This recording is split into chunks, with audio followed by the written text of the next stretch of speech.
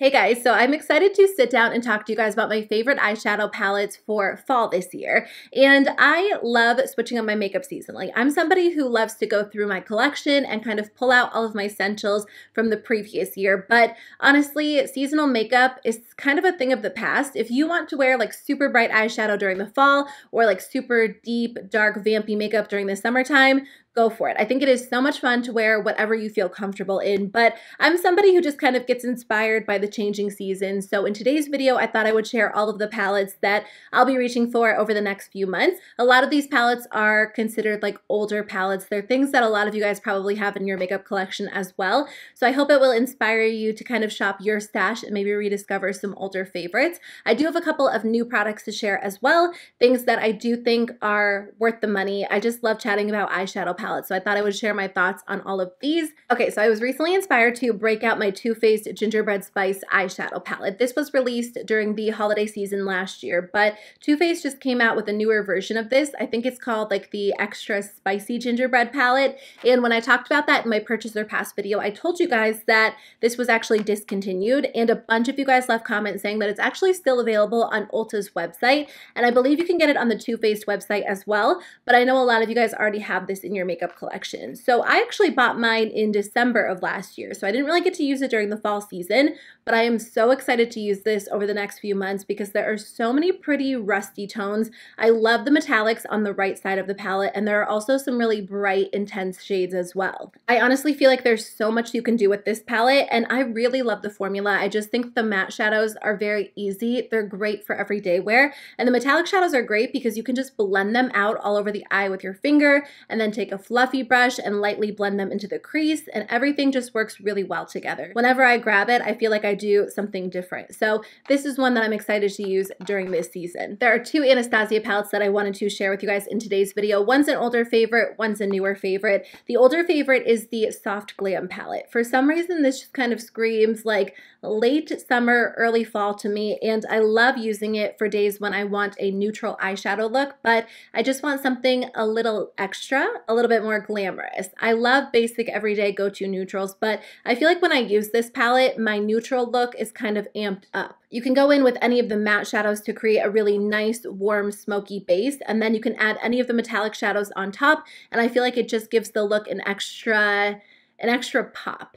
It's really easy to work with. No matter what I do with this palette, I get a very well coordinated eyeshadow look. And of course, I personally love the Anastasia formula. It's just very blendable, very, very easy to work with. So this one is great if I'm in a hurry, but again, I just kind of want my neutral look to be a little bit more than just an everyday neutral look. The other Anastasia palette is a newer favorite, and I've been talking about this a lot on my channel, but it's one of the best palettes that I've tried this year. This one is the Anastasia Jackie Aina eyeshadow palette. When I first saw this palette, it totally screamed fall to me. There are so many intense, gorgeous colors in here, and if you're somebody who likes to just do something a little bit more colorful, a little bit more vibrant, this is going to be such a great addition to your collection. Not only that, I feel like the formula in this palette is just so good. The Anastasia formula is already pretty good on its own, but the shadows in here are intensely vibrant, so blendable and smooth and easy to work with. I did do like a typical go-to neutral fall look using this, but I am going to film another video using like the pinks and the purples because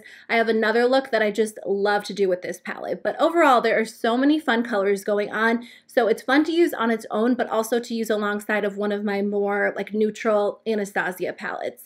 This is an older palette that I really haven't gotten a ton of use out of since probably last fall season. This one is the Urban Decay Born to Run palette. I did put this in my everyday makeup drawer for the fall season because I do want to make more of an effort to use it. I just think that every time I use it, I'm really happy with how my eyeshadow look turns out. I think it's a great everyday palette, but it also kind of helps me incorporate color in a little bit more of a subtle way. The colorful shades in here aren't as intense or vibrant as maybe the colorful shades in the Anastasia palette, but they still perform well. And I think that this is going to be a great option for those of you that tend to prefer neutrals, but you like to add color on occasion because the colorful shades in here are easy to work into more of like a neutral based eyeshadow look. So you can go in with some of the typical browns or some of the lighter colors and then add like a pop of color on the lid or the lower lash line and it just kind of switches things up a little bit. But I know a lot of you guys do own this palette and you already love it. So I think it would be fun to kind of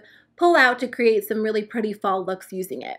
Okay, so this is a new palette from Urban Decay that I did want to mention in today's video. I never filmed a dedicated video on it, but I think I will film a Get Ready With Me featuring this if you do want to see it in action. So this is the Urban Decay Naked Honey palette. I actually was not going to purchase this palette, and then they did send it to me in the mail as PR, and I was so surprised because when I opened it, it looked a lot different in person than it initially did in their promo photos, and it was actually getting a lot of hype on YouTube. So I decided to test it out out and see if it was worth the money. I think that as far as naked palettes go, this is definitely one of my favorite. Now this is a $49 eyeshadow palette, so I'm definitely not recommending that you run out and purchase it right away because I don't think it's necessarily going to add to everyone's collection.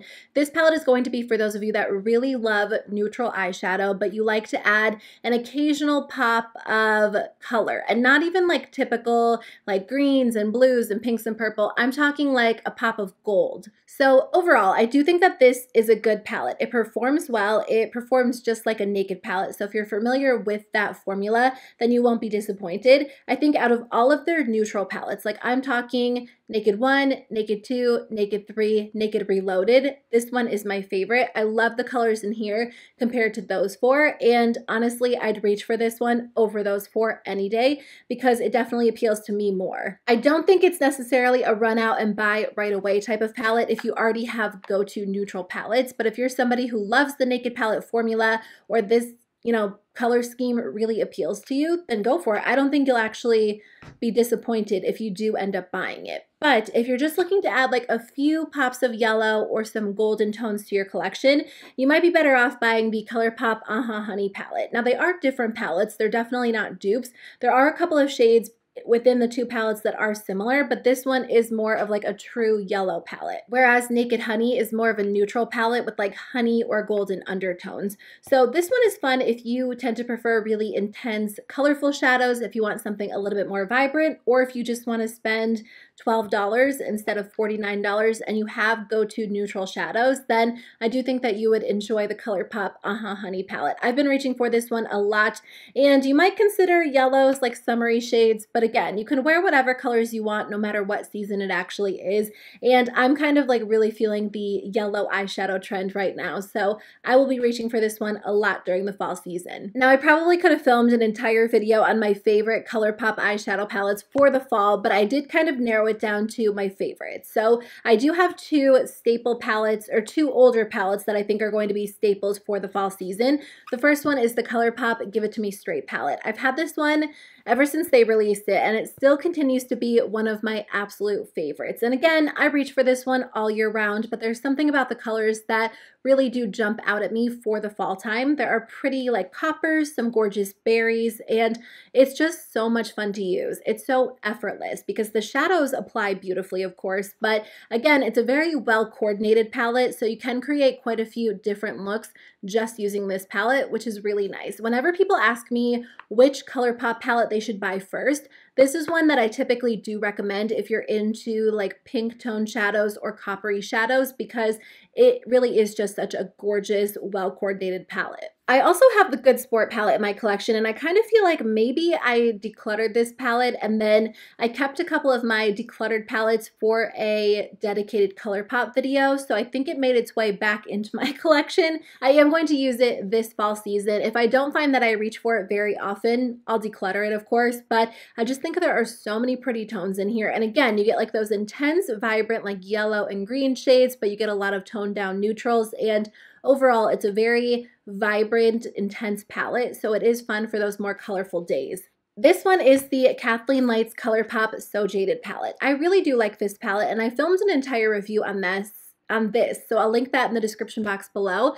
But I feel like maybe some people got the wrong impression in that review video. I really try to you know, break down my reviews and share information so you can decide if a product is worth the money. I never want to pressure you guys to buy something. I never want to tell you guys, like, you have to have this. It's the best product in the world. You will regret it if you don't buy it because I don't feel like that's true of a lot of products in 2019. I mean, how can it be? Everything's really already been done at this point. So I think it just kind of comes down to whether or not the product is good quality and whether or not you think you'll actually get enough use out of it to justify the price point.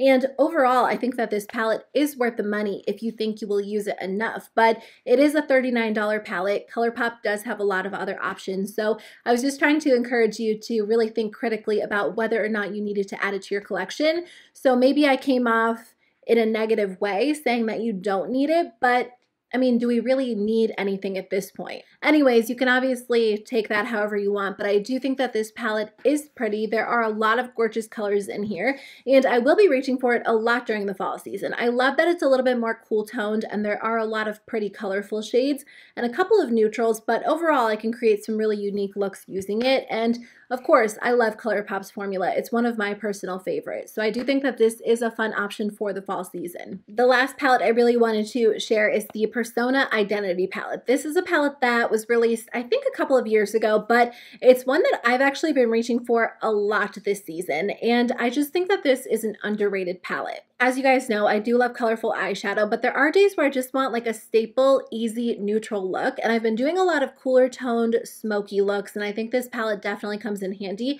I find myself reaching for this shade, this shade, these two browns, and this brown a lot. And it just helps me create a really simple, smoky, neutral eyeshadow look without having to reach into a bunch of palettes or without going overboard. Because again, a lot of the metallic shadows that I tend to prefer are so intense and so vibrant. And Sometimes I just like more of like a shimmer shadow rather than an intense metallic shadow, and that's where this palette comes in handy.